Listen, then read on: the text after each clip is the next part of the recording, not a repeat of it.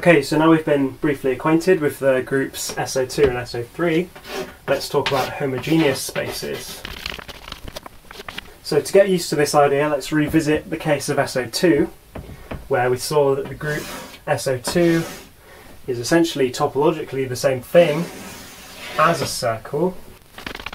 So what does this now mean? Well, essentially, all the points on this circle represent some particular element in the group, and we saw that we have one free parameter, so our only parameter is theta, we have a one-dimensional manifold.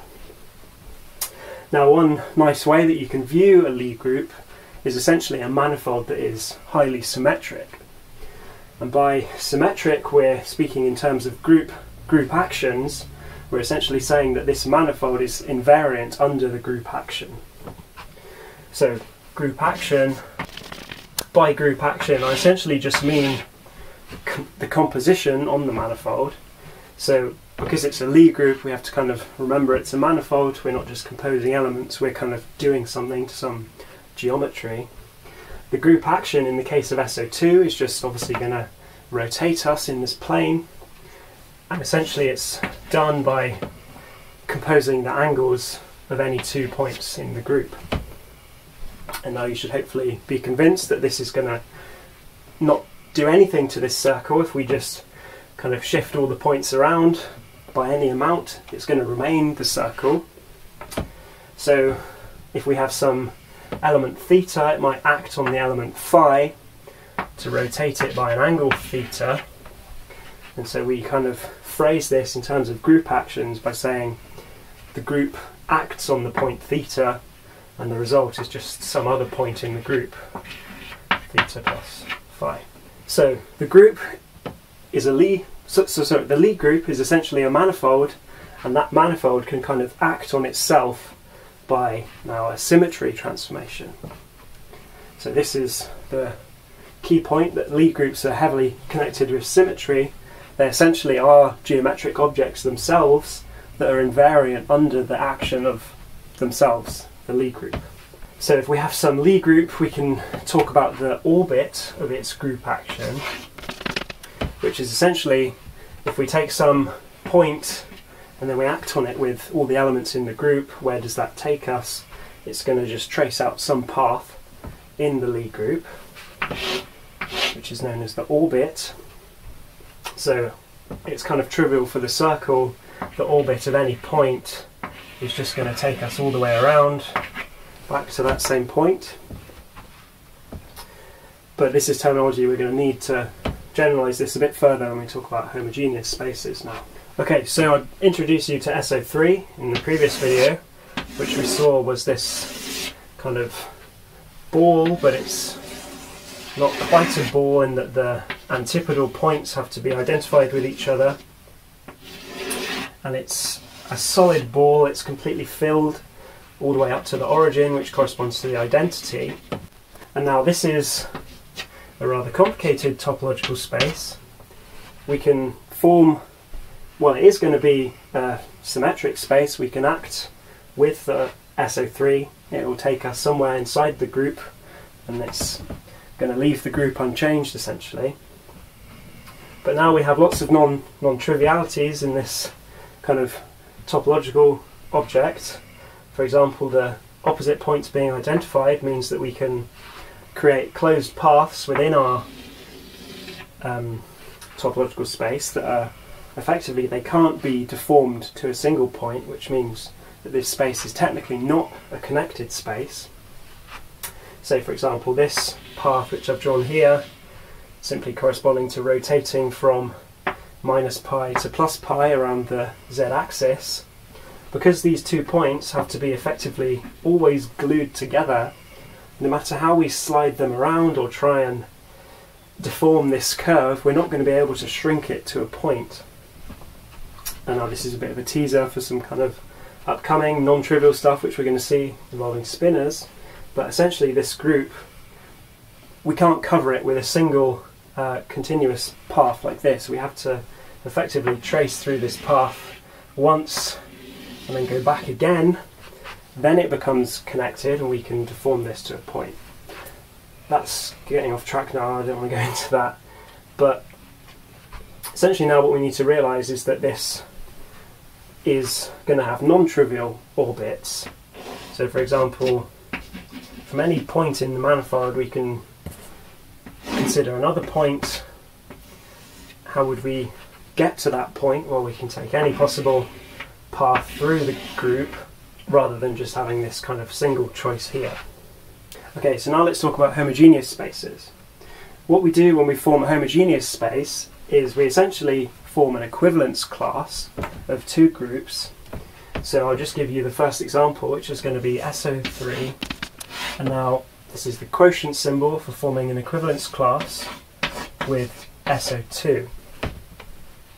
Now a couple of things we should realise that this equivalence relation is essentially saying, okay, take all of the elements from SO3 which are going to be equivalent under the SO2 group action.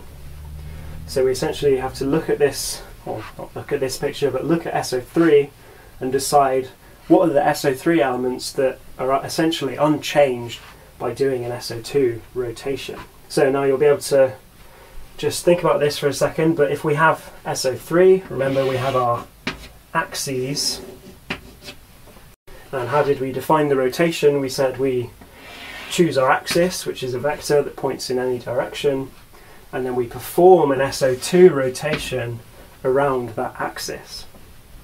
So now if we're forming this equivalence class of SO3, which is essentially unchanged by doing an SO2 rotation, we're effectively just losing all the information that's contained in the length of this vector because we're saying all of the points on this vector they correspond to doing some amount of SO2 rotation.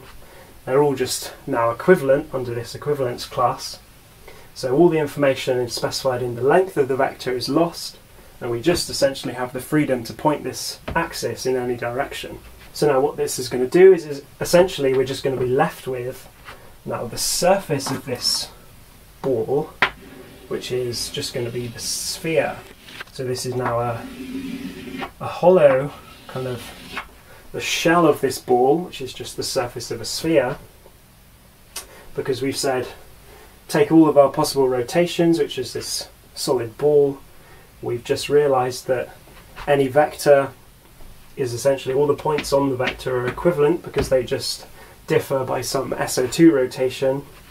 So if all of the points on the vector are equivalent, we might as well just say let's just choose any one of them, they're all going to be equally as valid. We don't want to choose the identity because then that's trivial. So let's just take the endpoint and say where, where do all these endpoints of these vectors lie? Well, they lie on the surface of a sphere. So this homogeneous space, as it's now known, is equivalent to the surface of the sphere, S2. So we've realised essentially all the points that lie on S2 are going to be equivalent under the group action of SO2 and this kind of set which we formed, this equivalence relation, has the structure of S2. So I'll just state that now again. We form an equivalence relation which takes elements from SO3 and asks which elements are equivalent under an SO2 group action. So essentially if we rotate around, which uh, three-dimensional rotations are going to be the same whether or not we've rotated around some two-dimensional plane. And now remember our three-dimensional rotations, we have them represented by some rotation axis and then the length is how much we're rotating in the plane using SO2. So we're just essentially getting rid of all this information and just saying we can just have the freedom to point in any direction. And that just sweeps out the surface of a sphere. So we're going to see that this is going to now fully generalize if you have SO n plus 1 and you form the equivalence relation with SON, this is just going to be equivalent to the n dimensional sphere. So these homogeneous spaces play an extremely important role in differential geometry. They are how we effectively create these um, symmetric spaces, as they're also called. And we should realise that S2 is both going to be invariant under the action of SO2 and SO3 because essentially we can act on any group element in SO3 with either an SO3 element or an SO2 element and we've just realised that there is some kind of subset of this SO3 and a, an equivalence class of this big group is going to be a subset and that subset is essentially the subset which is unaffected by doing an SO2 rotation. So the sphere is a symmetric space. Obviously it's intuitively clear why it is a symmetric space, but now we have the mathematical justification for this. It's formed using this entirely group theoretic argument. We've effectively constructed geometry from nothing but Lie groups. Well, they are geometry themselves, but you can talk about them purely algebraically as group objects. So you can form topo topological objects in this way, and this is why Lie groups are so important for symmetric geometries and symmetry in general. Okay, so that was a bit of a hand wavy video. I didn't really go too deep in the details, and I probably confused you at the beginning when I started talking about these orbits. Don't worry too much about that, just focus on the idea that we want to essentially take some subset of the group which is going to be equivalent under uh, a lower dimensional group, and that's going to form a symmetric space.